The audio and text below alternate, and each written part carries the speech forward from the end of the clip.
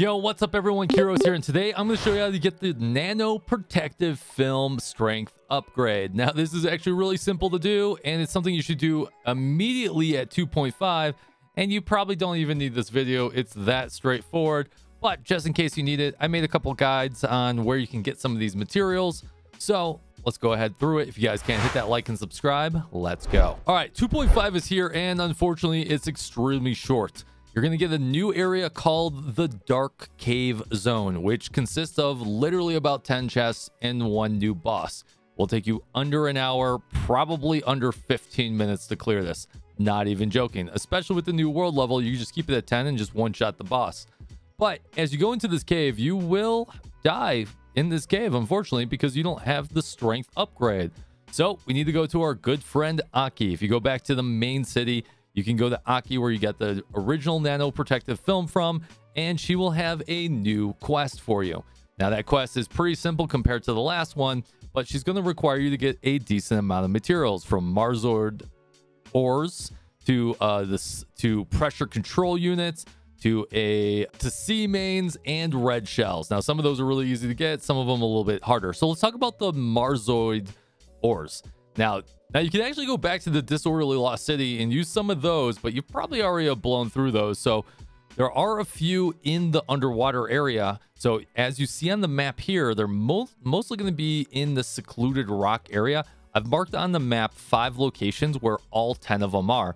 So if you port to the first teleporter, there'll be a few underground in uh, the cave area that you're seeing on screen.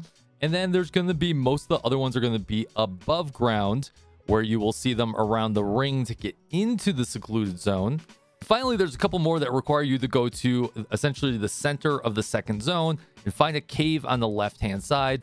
And there's going to be like two or three rocks in there, and that should get you all 10 that you need to have. So hopefully that did help you out. All right, that brings us to the pressure control units. Now, these are really easy to get. Well, I should say you probably already have them. But there's three different ways you can get this. And the last way is my preferred way to get this. You can get this from the com combat simulation device, which are kind of like the gold cubes from the disorderly lost city. You have to bring some friends in. You may need some help doing these, but this might be a good opportunity for you to complete doing those.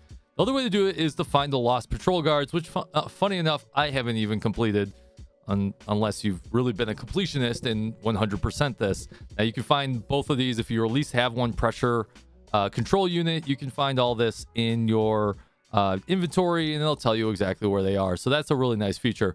But the way I like to get it is just through the research. You've probably already done the bottom line of the research if you've been uh, farming any of the stuff to use your energy. So you probably are already sitting on them as the entire bottom row, as you can see here, has all the ones that you need and you should probably do it anyways because you should progress onwards. Next up, we need the sea mains. If you guys want to get sea mains, my favorite place to farm this is right underneath Innars. You essentially teleport to Innars or you teleport to the third area. And if you put, teleport to the third area, swim all the way up. If you teleport to inner, swim all the way down. And there's a nice congregation of them there. You find anywhere between, I think about 9 to 12 of them.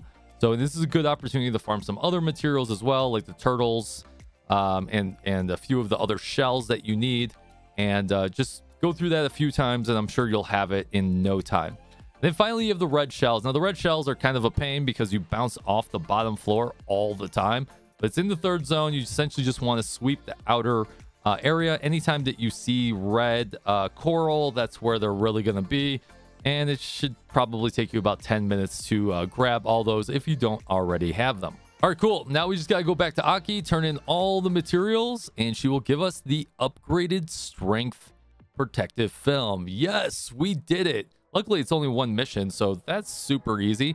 Now you can go into the cave that will take you 15 minutes to clear it to get to the new world boss.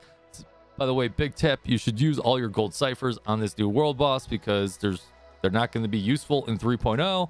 And I hope you guys enjoyed 2.5. I'll see you guys in the next video. Take it easy and fist bump from me to you.